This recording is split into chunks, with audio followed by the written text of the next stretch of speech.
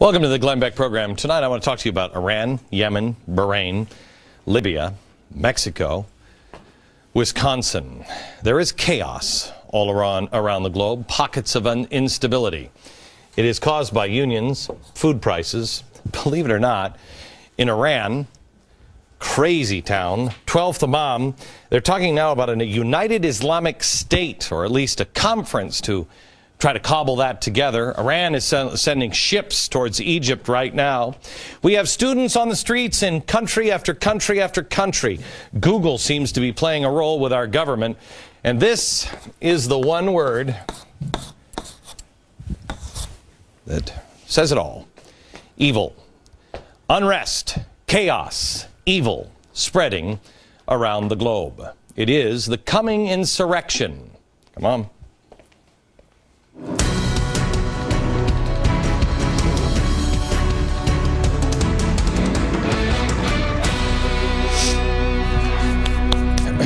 Hello, America. I have to tell you, I know I get a lot of heat on this program. I don't really care.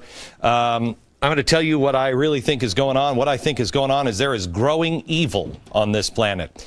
It is. Um, it is so transparent and clear to anybody who cares to recognize it. And I think the average person does, but nobody wants to say that on TV because, you know, that's crazy talk. Over the past few years, we have talked, talked about revolutionaries all around the world. And we have told you about this two years ago the coming insurrection. Uh, if you haven't read it, it's still not too late. This is one of the most evil books I've ever read, but you should read it. Um, you'll, you'll know how they think. It's why we can predict what's happening in the world on this program, because we take them at their word. Now, you have told your friends about the activists all around the world that wish to create chaos and grab power. Some days these revolutionaries were just talking about it, but today they are doing it. I want to give a recap real quick on what we had told you on day one of the coming insurrection, day one of the riots and the unrest in Egypt. I told you that radical Islamist, communist, socialists would work together against Israel, work together against capitalism, work together against uh, to overturn stability. And all of these things are happening. Then I told you part two would be protests would become contagious. This is, I mean, if you thought that this was ridiculed, oh boy, Oh, now Glenn Beck says it's going to spread from uh, Egypt. Yes, I did.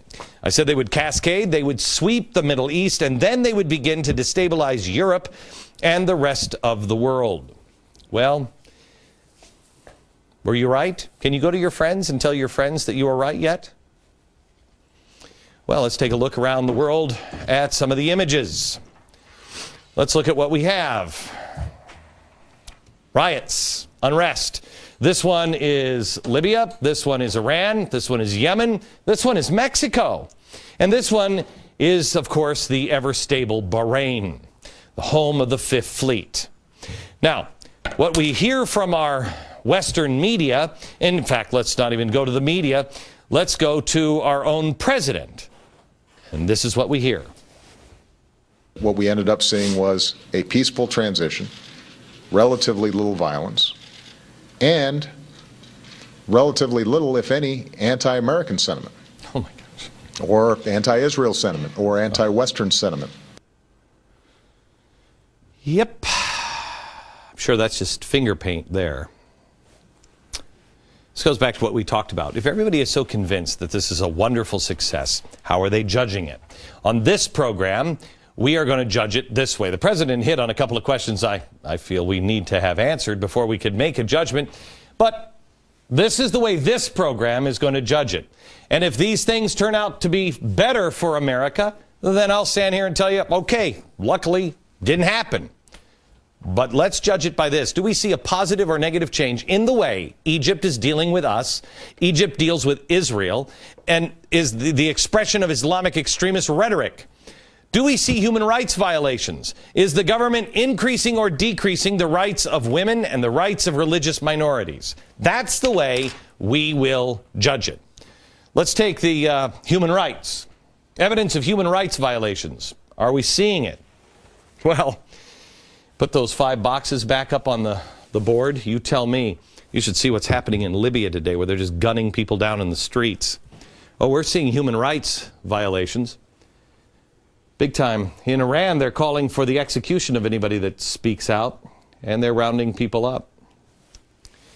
Human rights violations. Well, let's go to Egypt. Yes, yes, we are. Um, without getting into the horrifying specifics, mainly for this individual's family, um, we know that there were at least 300 people killed, countless injured and abused. And while we were watching this jubilant scene, you remember this on Friday? And this was the only program we were mocked and ridiculed. I said, don't pay attention to this scene. Don't do it. This is the beginning. This isn't the end. While everyone was saying, oh, listen, this is great, in this crowd, we found out today that American woman was being sexually assaulted, sexually assaulted by 200 men in this crowd. She was rescued by the second class citizens, women, and 20 members of the military. More on this in just a minute. Do we see a negative a negative change or a positive change in the way that Egypt is dealing with Israel. Well, let's watch this video. This is a high profile Egyptian dissident, um, Ayman Nour. He's a guy, he's saying here um, on Egyptian television that he believes the best option, and this is our best option for leadership in the new uh, Egypt, believe it or not. He says the best thing that they can do is when it comes to the Camp David Accords, they've got to come to an end, but we should have a referendum on the peace treaty with Israel. Now, let me ask you, how's that going to work out? The favorability in Egypt for the peace accords with Iran or with uh, um, um, uh, Israel is 3%. 3% favorable, 92% unfavorable. How do you think that's going to work out? Do you think that's going to be positive or negative for Israel? Do we see Egyptian politicians outwardly expressing Islamic extremist rhetoric? Well, Let's look at the people from the groups like the Muslim Brotherhood. Are they gaining power? Well, let's see. The judge who is heading up the commission to write the new Egyptian constitution, you bet. He's, I mean, he's practically Thomas Jefferson. He's an outspoken Muslim Brotherhood politician. Oh, and let's not forget that the Muslim Brotherhood has also announced that it intends to form a political party of their own, which is wonderful since the Brotherhood's current leader just wrote an article in September on the group's website in which he said of the U.S. that a nation that does not champion moral and human values cannot lead humanity, and its wealth will not avail it once Allah has had his say. Oh, this is fantastic, isn't it?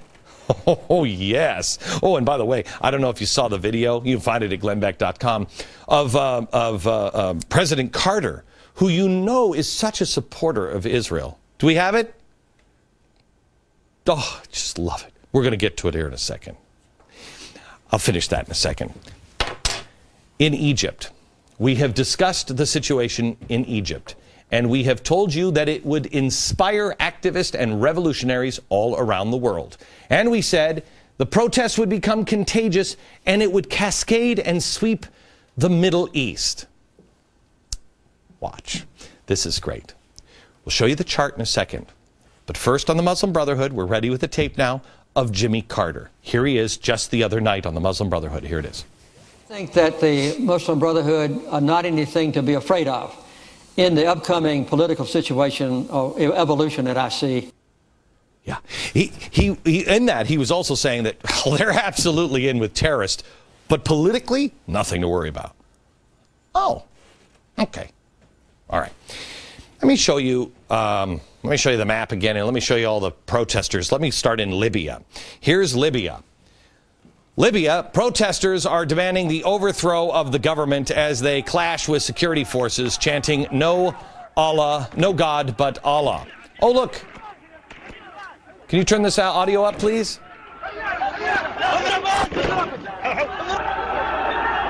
You hear the gunshots? Watch. This is Libya.